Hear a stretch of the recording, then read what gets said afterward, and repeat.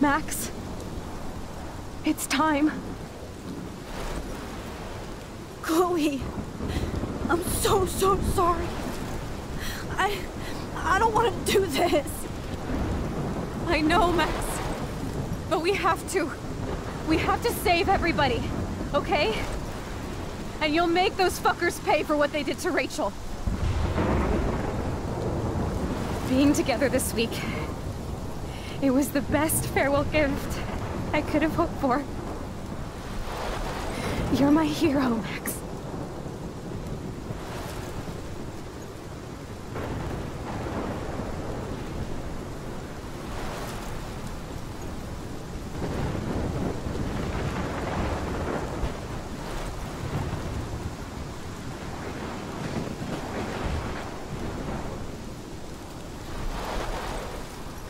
Always love you. Now get out of here, please. Do it before I freak. And Max Caulfield, don't you forget about me. Never.